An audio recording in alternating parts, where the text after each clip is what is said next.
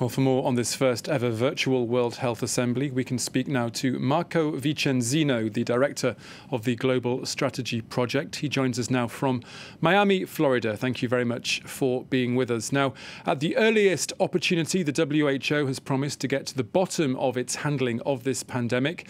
The Director General has stressed that the WHO sounded the alarm bell early and often, but just how much of a challenge has the WHO set itself?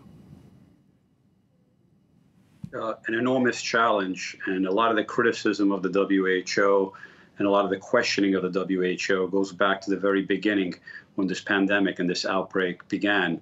Uh, there needs to be a great China was the source of the outbreak, and my opinion, needs to be uh, it needs to give clear answers, greater transparency, greater accountability, as does the WHO. 122 members of the WHO demanded an investigation into exactly what happened. And it was due to this pressure that right now you see uh, Xi, President Xi of China, uh, in his speech, he called. He also called for such a review. But once again, he's emphasizing after when after the, the pandemic uh, subsides. When that happens, no one knows.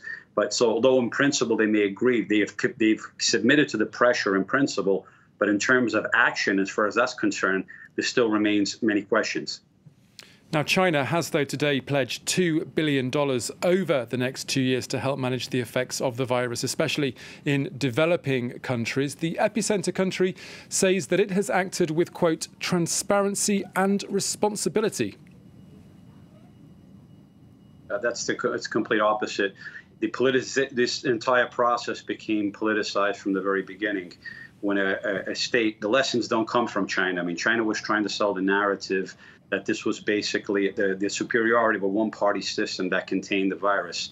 Actually, what happened is that it, it from the very beginning, it repressed uh, those it, through, tried to cover up through repression, and then it tried to contain it through greater repression. The real lessons here don't come from the People's Republic of China. It comes from the Republic of China, i.e., Taiwan. Taiwan knew very early on what was going on. There was something happening. There was some kind of pandemic. There was virus, and early in January, they're already taking the measures necessary to uh, to deal with this. And as a result, Taiwan has had no lockdown. It's had seven deaths and less than 500 infections.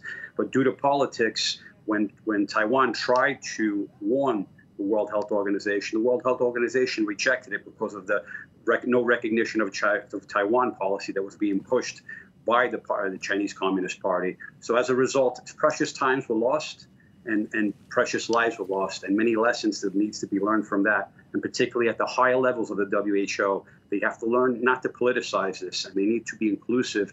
Even if, if Taiwan not maybe nation recognized as a nation state, it needs to have its observer status, and it's played a very, very important role in this. So I think there's a lot of there's a lot of answers to be given by many, many people, not just China, but the WHO itself. Okay, uh, thank you very much for being with us. Uh, Marco Vicenzino, the director of the Global Strategy Project. That's all we have time for. Thank you very much.